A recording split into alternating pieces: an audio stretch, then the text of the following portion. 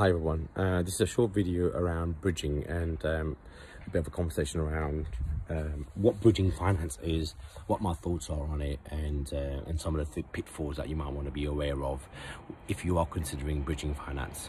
So let's start with what bridging finance is. So in effect, if you're buying a house and uh, typically in an auction uh, setting, you are going to be tied down with some certain timelines, which is 28, usually 28 uh, working days or 20 working days, I should say 28 days uh, completion time. So that leaves you only kind of four working uh, weeks to be able to tie this uh, purchase up. So when the gavel falls, you pay 10% of the deposit to the auctioneers and the rest of it you have to finance, whether you do it by cash uh, or otherwise. So typically a lot of people, including myself, we've all been down the route at some point of using bridging finance to finance some of these deals. Uh, finance companies, uh, unlike uh, mortgages, they are they are able, uh, they're a bit more nimble. They are able to move a bit quicker than your traditional mortgage company. They will tend to finance things that a mortgage company will not finance. So if a house is a bit more uh, well, let's say it's failing EPC, it's uh, not got radiators, hasn't got bathroom or kitchen, your traditional Halifax and Nationwide will not give you uh, a mortgage, let alone any others uh, buy-to-let mortgage uh, lenders either. So what we tend to do is then to use bridging finance. It's basically in a short-term financing uh, arrangement that you pay these um, companies um, a higher interest rate and some cost, but we'll, we'll talk about some of this um, con, uh, cost in a little while. But the idea is that you, you know they will then um, finance and take the risk of financing some of these um, properties that are not typically going to be financed by mortgage companies. So. Um, so what so, so that's basically what it is. Um, what are the kind of the positives of of uh, bridging finance and using bridging finance? Uh, in my perspective, there are, you know, one of the big ones is is basically if you are finding deals but you don't have enough money to buy them cash uh, or get them on a normal mortgage or any other financing mechanism, rather than leaving that below market value deal on the table or unfulfilled, you can't sell it on. I would always rather that we try to look for a, a bridging finance, a reasonable bridging finance deal that will allow us to do that deal. So what's the, one of the big pros is basically allows you to buy that house that has got no EPC, no central heating, uh, kitchen and bathrooms missing, uh, but you know that you're buying it below market value, so you can still make a decent profit out of it and recycle all your money out of it as well. So that will be my biggest uh, positive about bridging finance and their services.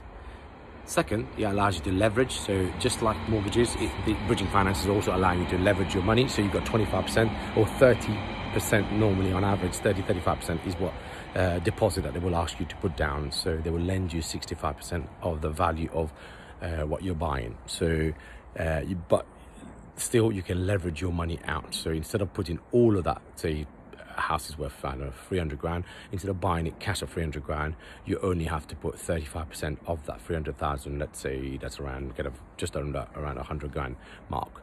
So you can leverage your cash and buy something that's 300,000 with only 100,000 pounds. So that's the second positive of bridging finance, bearing in mind of the first one I said that it allows you to do things that you would not necessarily buy on a traditional mortgage. Um, third, it's, it's short-term lending. So most banks will want you to tie into two-year deal, five-year deal, fixed rate, etc., etc. Short-term finance actually don't want you to do that. They they make their money by recycling their cash in and out of projects fairly regularly at a high velocity. So they lend you for six months, then you know they make a, a few thousand pounds on that money. Then that money comes back out from you with the interest that they've charged you, and then they use that same money to lend to another lend to another borrower and and that's how they make their money. So because of that, they only want you to use their money short term, or ideally it's a short term um, cycle that they are looking to to lend on.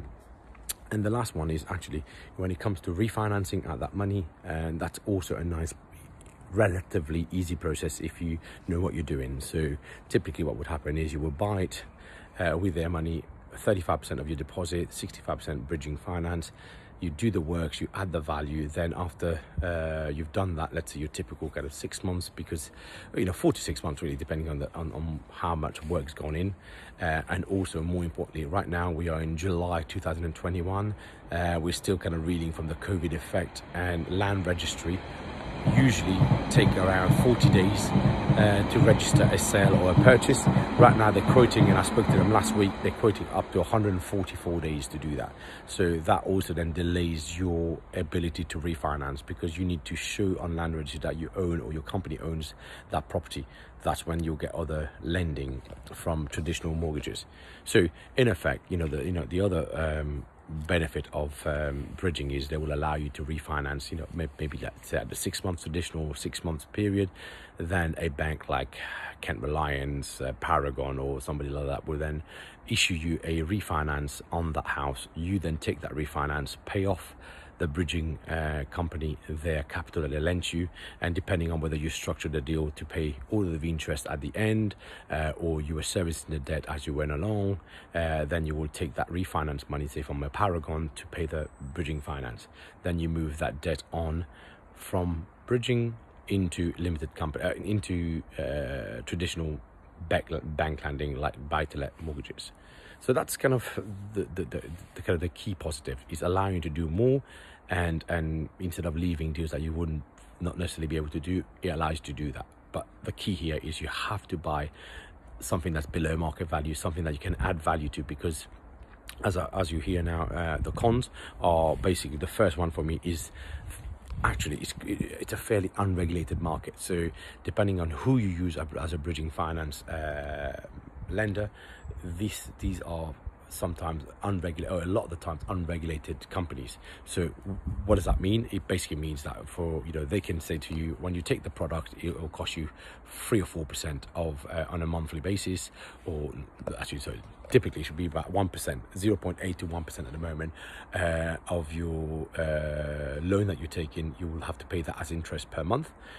but the unregulated part of it, depending on who you use, I mean, there are some really good bridging lenders out there, but there are some really unscrupulous ones out there. So really make sure that you pick the right ones. But the idea is that, you know, because it's unregulated, they can say after six months, if you if you take a term for six months, but then your project, for whatever reason, delays and you're not the seventh month, they will put things like um, um, clauses in there that they can whack up the A, their fees, and B, their interest rate as well. So all of a sudden, you start going from 0.8% to 2% per month after six months. Uh, they will add another, say, five grand worth of fees because you've breached that six month term. And again, you know, uh, part of it is their business model because they are banking that, that money coming back at six months so that they can lend it out again. So if it doesn't come back, they want to then charge you for that. Um, but the unregulated aspect of it sometimes, depending on who you're working with, they can cost you quite a bit of money and a bit of headaches as well. Second thing is, you know, you also need to be aware of the, the, the, the, detail of that of that bridge. So what I mean by that is a simple one would be, do they charge you interest per day or per month? So if they're charging you per day, so if you exit at 173 days, you will pay just 173 days of interest, let alone all the cost that comes with it. But if you're paying it, if they're charging you per month, so let's say you get to the sixth month or fifth month and then you roll over one day into the sixth month, guess what? They're going to charge you that whole month worth of interest as well. It's okay if it's one or two hundred pound, but if it's a thousand, two, three, four thousand pound, that's quite a lot of money that you could be potentially in for. So be aware of all the minutia terms and conditions of that um, bridging finance. Third, I think it's quite a costly way of, of, of lending or borrowing, rather, I should say. So there are some cheaper ways out there, but you have to be able to access them. If you can't access them, bridging finance is your only source. You just have to go in it with your eyes open that it is a costlier way of financing property development, uh, and uh, you're part of that deal then you need to make sure you're buying the right deal that then factor up all of these costs. And what i mean by costs is bridging typically will co- will charge you an arrangement fee uh, and that could range in the thousands i would say.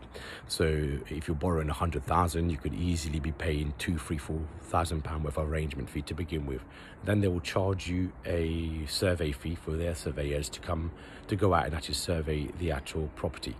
That is also uh, variable because a big uh, a company may have their own surveyor and then they charge 900 pounds in-house for an in-house surveyor or they can use a outdoor uh, an outsourced one and they can charge you 300 quid. So also check those uh, details. So that's the big cost. Legals uh, so you will have to pay their legal fee as well as your own legal fee. And you'll have to pay basically two solicitors one to act on their behalf and the second one to act on your behalf. So because of that then those costs kind of quickly mount up in my head, I normally account for about ten thousand pounds on average for like um, a 150 200,000 and obviously it scales up more the more you borrow.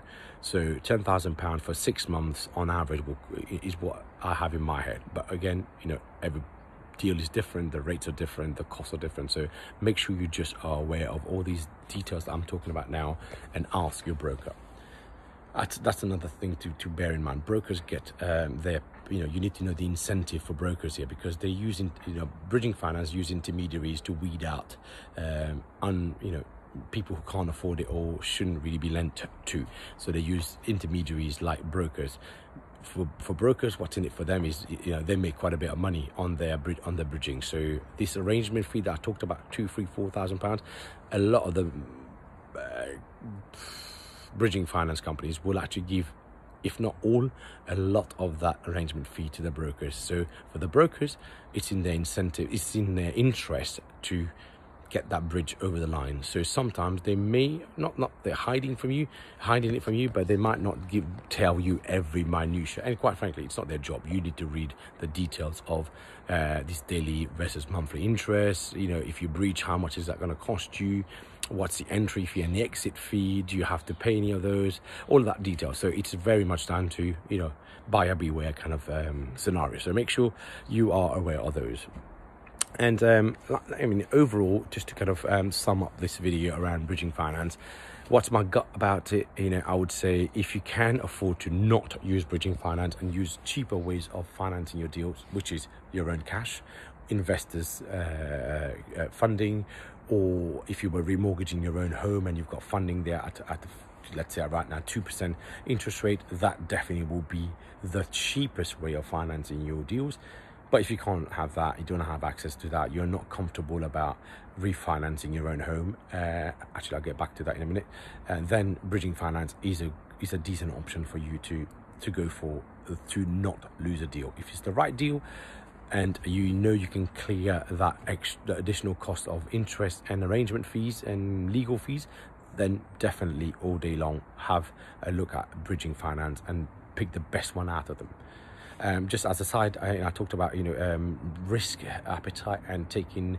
Some people say, "Oh, I don't want to uh, remortgage my house because I don't want to put that in jeopardy," but also not realizing that if you take a bridge and you sign a personal guarantee on that bridge, yes, the first charge will be against the house that you buy uh, with their money, but if that's downvalued or you they end up selling it because there's no kitchen bathroom and the value of the house has now diminished from what you bought it as you would be in for that uh, deficit in value which means that if you can't pay then they'll go after your house so what i'm trying to say is you know sometimes people think oh if i don't put it if I put it on my company name and uh, I'm going to be safe, my house going to be safe. No, not at all, because they'll ask you for personal guarantees, uh, and that personal guarantee will be collateralized by your ass with your asset. So be quite careful about risk understanding and not thinking that it's, it's less risky to borrow on a limited company rather than refinancing your own home at a cheaper rate and using that money to fund your development. Anyway, I hope that's been helpful. Uh, if there's anything, uh, if you've got any comments, please post it in uh, below in the comments section below. Otherwise, I will um, look forward to your feedback and post new videos um, as I as I come across them really and I'll, and I'll think about them. Thanks. See you in the next one.